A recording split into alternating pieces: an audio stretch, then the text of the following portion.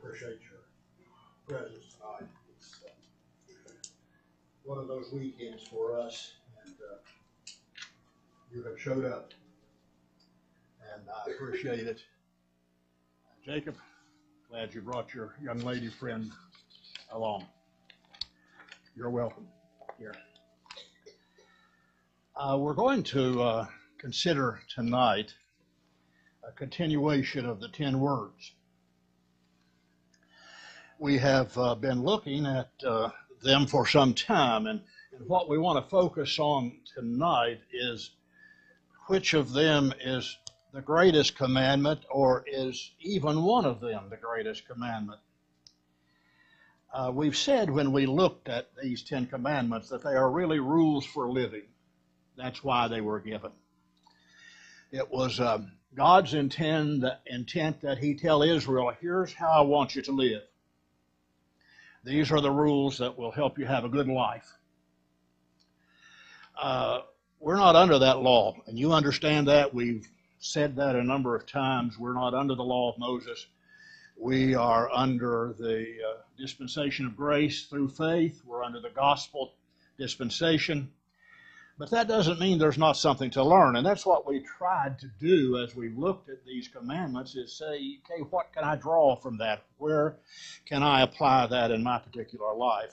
So let's just review them. I'll just read them for you as if uh, you were not familiar with the Ten Commandments at all, though I know that you are. You shall have no other gods before me. You shall not make, make for yourselves any graven image. You shall not take the name of the Lord your God in vain. Remember the Sabbath day to keep it holy. Honor your father and mother. You shall not murder.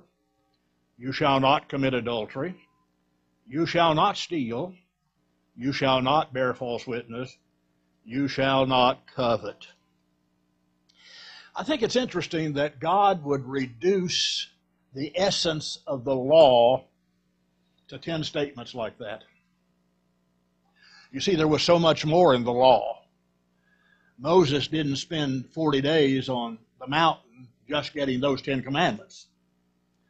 There were lots of other things about the law, about the priests, how they were to serve, what they were to wear, all of those kinds of things.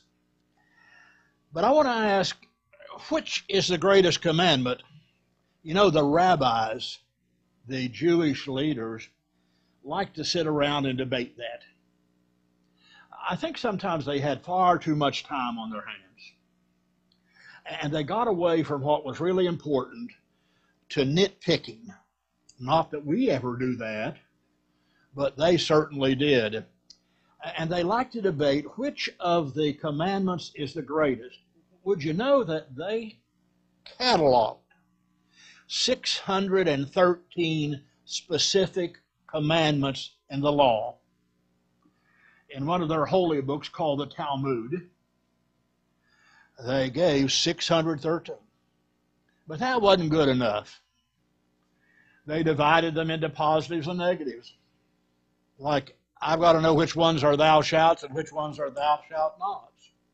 And would you be surprised to know that they came up with more thou shalt nots than thou shalt? There were 365 thou shalt nots. I've often wondered if that was one a day. And that left like what, 248 that were positives, thou shalt? And that wasn't even enough. Then they divided those into light and heavy commandments. Like uh, the heavy ones are the really big ones, and you better keep those. The light ones are the, well, if you got to break one, break a light one, and it's no big deal. And then if that wasn't enough, they wanted to say, which one's the greatest of all? If you had to pick one out, what's the greatest commandment? A lot of the rabbis believed that remembering the Sabbath day was the greatest of all the commandments. They really believed that was what it was about. That was the number one of all the commandments. So what if if they did this? What did it produce? What did it make of them? How did it affect their religion?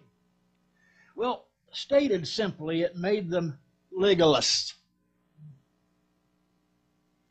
It made them law keepers for the sake of being law keepers. It gave them a checklist mentality. I've got to keep these check. I did that one check, did that one check.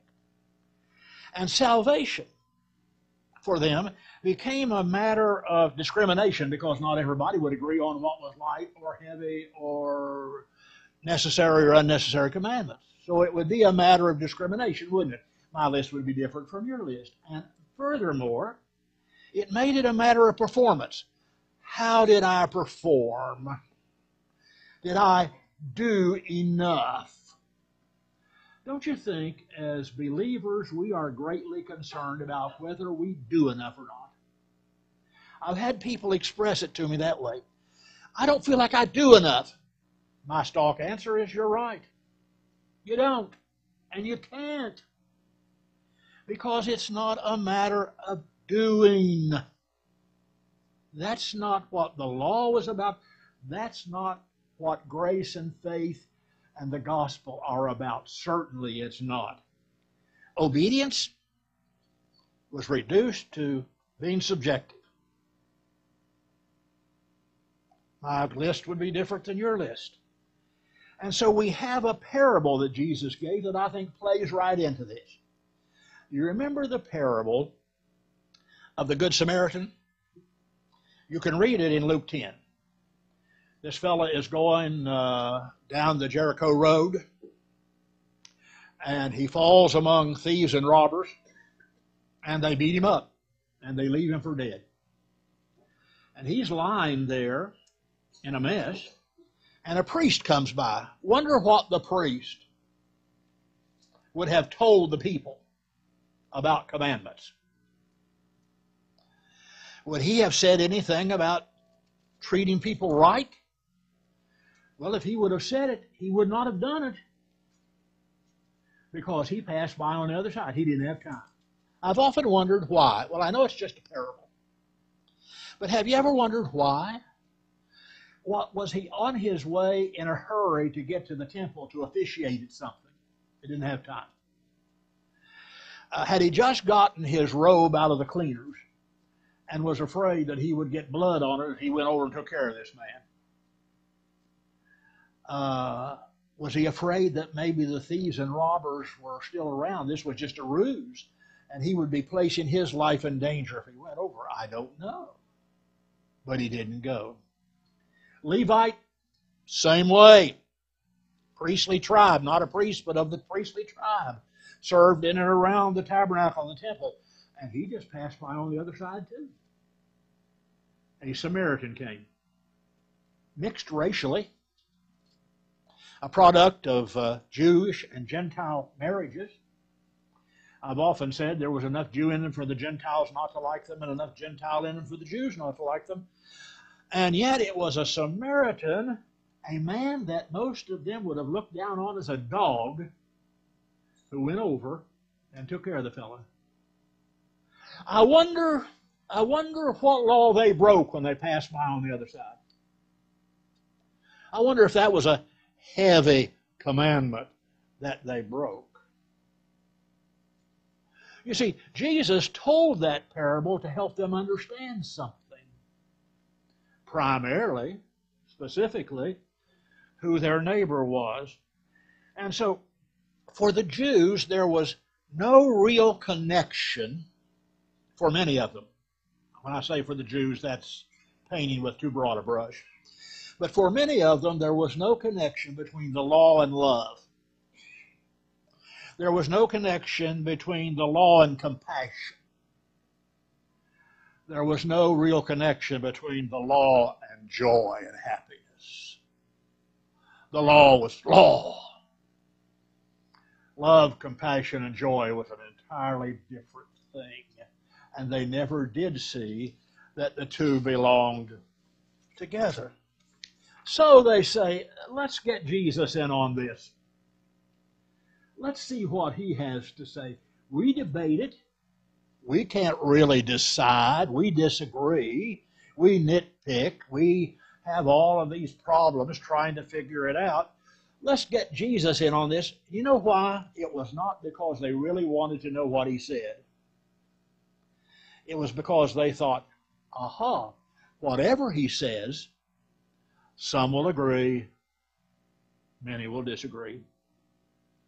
And so if he says, if he buys into this 16, 613 deal of laws in the Talmud, and he says it's number 287, they'd say, huh, why not 324? Why not number three? Why not remember the Sabbath day and keep it holy? Because they thought they were sure that they would trap him. Jesus refused to play their silly game at all. He refused to enter this checklist kind of thing. He would not be a part of it. He knew that under the gospel which was coming, that salvation was by grace through faith, and it was not something you earned. And folks, I wish we would learn that.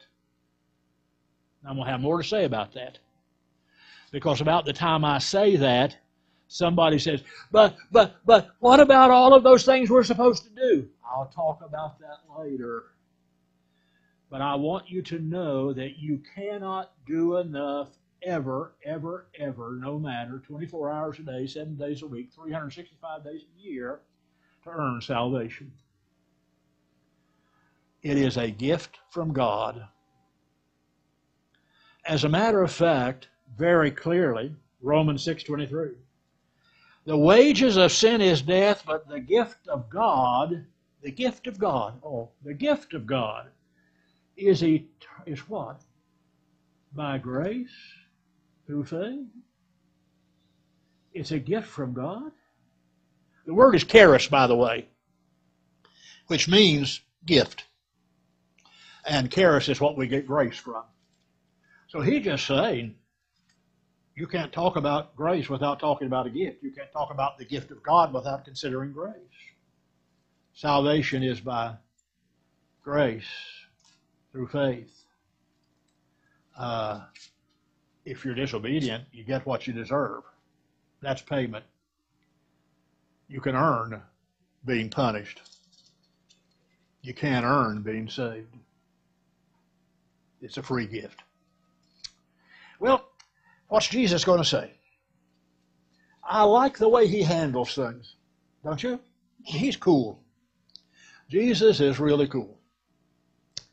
He says, um, let me tell you what the first one is and he quotes from Deuteronomy 6, what we call the Shema. Now, here's what's interesting. The Shema was a bit of scripture that they put in those things called phylacteries. Have you heard about those in the Bible? You've read about phylacteries. You know what phylacteries are? They're little leather boxes that they wore one of them on their left arm and the other one on their forehead. And they put bits of scripture in there. And you know what one of the bits of scripture was? This passage from Deuteronomy 6. Because they believed you ought to keep that scripture before you. If it was on your forehead, it was like the front of your eyes. If it was on your arm, when you crossed your arm over, it was on your heart. They had it down. Let's put the Shema in the phylacteries and let's keep it before people. But they didn't get it that that was the greatest commandment. Thou shalt love the Lord thy God with all thy heart, with all thy soul, with all thy mind. This is the first and great commandment. And he didn't stop because he said the second is so close to it that you can't separate them. And he quotes there from Leviticus chapter 19 and verse 18. All Jesus did was quote scripture to them. And he says the second one is loving your neighbor as yourself. The priest and the Levite in the story in Luke 10 broke both of those. They didn't love God enough to stop, they didn't love their fellow man enough to stop. And he said, On these two commandments hang all the law and the prophets. Now stop and think about this. Get this connection. when we started talking about the Ten Commandments, We said the first four had to do with our relationship with God. We said the last six had to do with our relationship with one another. Thou shalt love the Lord thy God with all thy heart, soul, strength, and mind. Does that cover the first four? And he said, Thou shalt love thy neighbor as thyself. Does that cover the last six? He said, On these two simple commandments hang all the law and the prophets.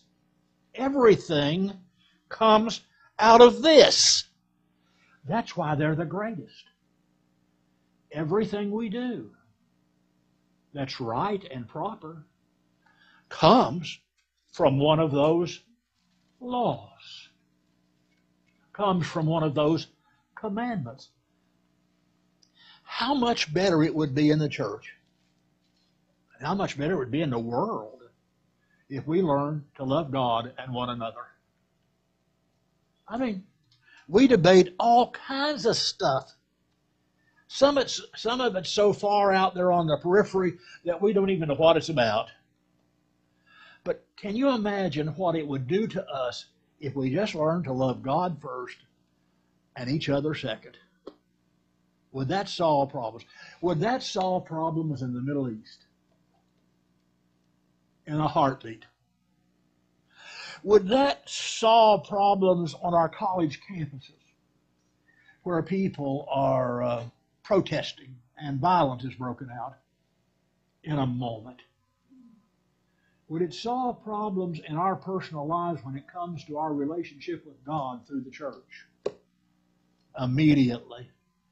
If we would learn to love God first and one another second, and realize that on these two commandments hang all the law and the prophets. Well, you know me. I've got to try to make something out of this and say there are some applications. I've got to say, what do I do? When I leave here after a while and I go home, uh, besides catching up on the ball game that I'm missing, and uh, besides getting a little snack, maybe a, a bowl of uh, chocolate peanut butter ice cream, my passion, by the way, uh, like uh, what do I, what do I do besides what do I take home from this with me? I'm going to give you three things. First of all, the Old Testament and the New Testament are not at odds. The Old Testament and the New Testament are not at odds. I think we get so wrapped up in this. We are New Testament Christians, and we are that we forget there's an Old Testament. And we forget that there's value in the Old Testament. We forget that there are things to be learned from the Old Testament. Every once in a while, I'll, I'll preach a sermon out of the Old Testament. Somebody will comment, You preached out of the Old Testament this morning. Well, yeah, I did. Because I think there's value there. You realize that the Old Testament was to create a community through which the Redeemer would come. That's the purpose. It was to give us a nation, Israel. And through Israel, Jesus was to be born. Do you know that Jesus was a Jew? Do you know that Jesus was not Caucasian? He was not of European uh, descent he probably wasn't as light skinned as any of us are.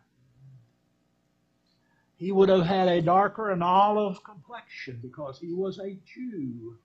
He came out of Israel.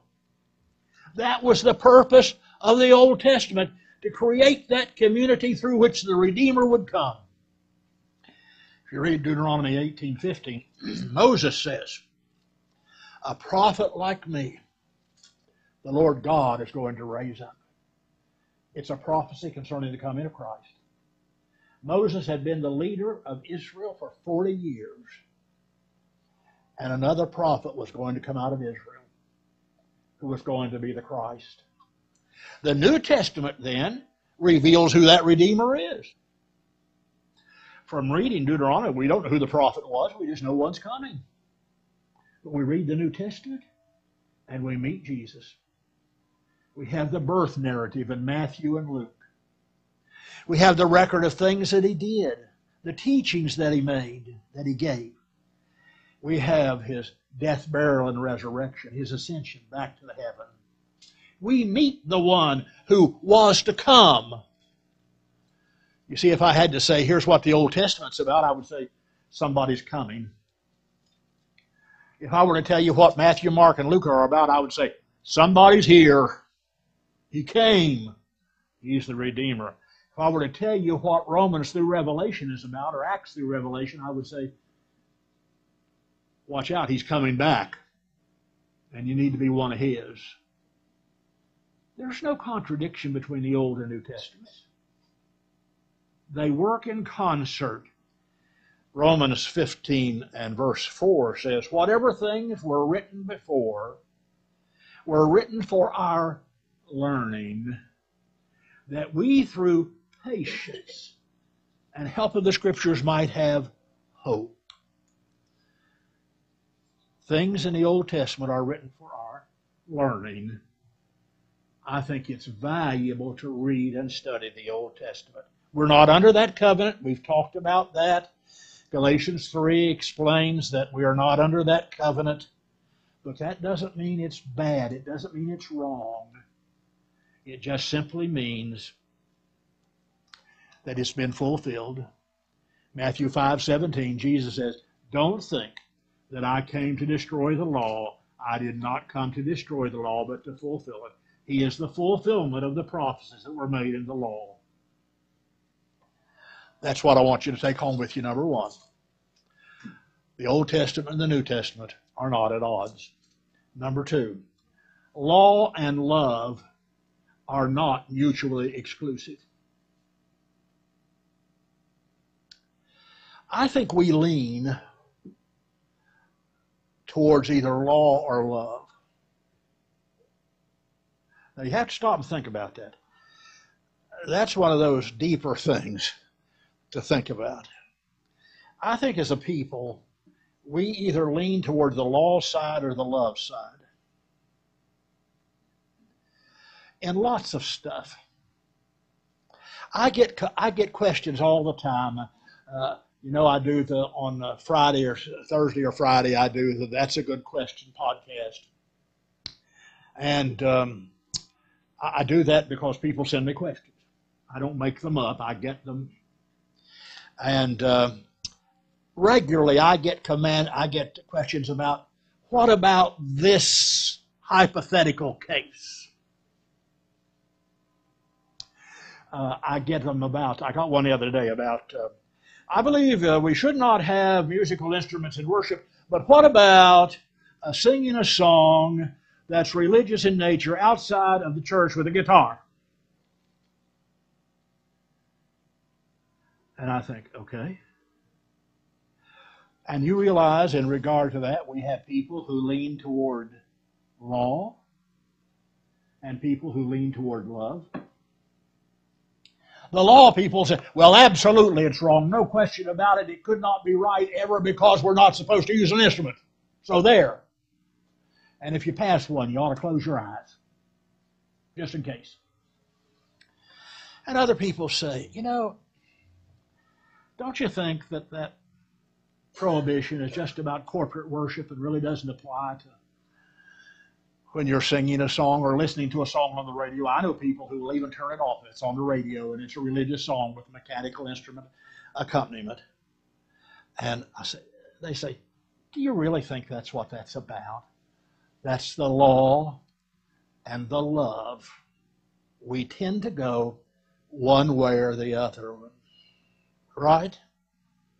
Let me give you a scriptural example. Luke 14. Jesus is having dinner and he heals a man with dropsy. Now, we don't use that terminology to, to diagnose anybody. You go to the doctor and say, I think you have dropsy. And uh, that's been described as I drop and don't have the energy to get up, but that's not what dropsy is. Dropsy was, we would call it an, an edema it's fluid collecting somewhere in the tissue of your body. And Jesus healed him. But do you know what day it was? It was the Sabbath. Ought not have done that, Jesus. You're not supposed to do work on the Sabbath. Like Jesus saying, be healed is a lot of work for him. He said, man, that made me tired. And so they jumped on him and they said, You broke the Sabbath. He said, Which one of you, if your donkey or your ox falls in a ditch on the Sabbath, doesn't go and pull him out? Do you get the import of that? It's like, is your donkey or your ox more important than this man who's suffering from dropsy? If you can pull him out, that animal out of the ditch on the Sabbath, I can heal this man on the Sabbath. It's like, now answer that. And they had no answer. But you see, there were the was the law and the love. The law said, You violated the Sabbath. Don't do that. The love said, Yeah, but you know, uh, the Sabbath was created for man, not man for the Sabbath. And you need to understand there are exceptions to that. Which side do you go on the most? Are you the law person? Are you the love person? What I get from what Jesus said is that you don't have to be either, either because one is in concert with the other. It's love that motivates us to keep the law, the commandments. Jesus said it this way John 14, 15 If you love me, keep the commandments. In Galatians 5, 6, Paul said, in Christ Jesus, neither circumcision or uncircumcision avails anything. But faith and love. Works motivated by love. Obedience growing out of love.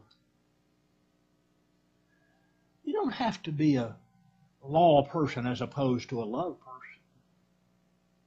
Those two things are not mutually exclusive. We need to learn that, that God saves us by His grace through faith. What a wonderful idea. What a wonderful thing that is. How we ought to appreciate that.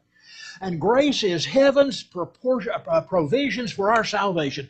God says, You don't deserve this, you can't earn this, I'm going to give it to you. Now faith is your response. And faith involves some action. Faith is not just saying, I believe that Jesus is the Son of God. Please save me. Amen. Uh, that's not what faith is. Faith is active. Read Hebrews 11. All of those great heroes of faith who did something, right? When Noah was moved by faith, what did he do? Built an ark. And you go through there, every one of the examples says something they did through their faith. So law and love are not mutually exclusive. And number three, Christianity is not a matter of record keeping.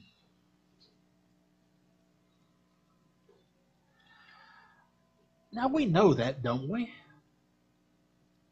But don't you think sometimes we act like it is.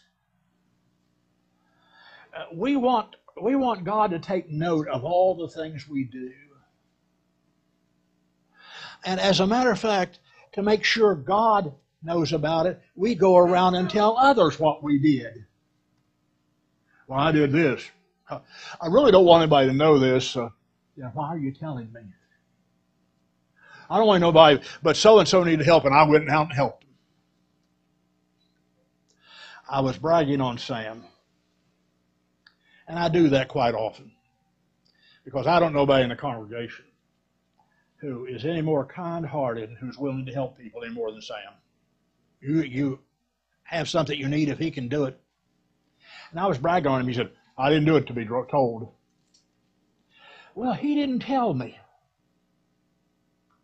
He didn't tell anybody. The person he did it for told me.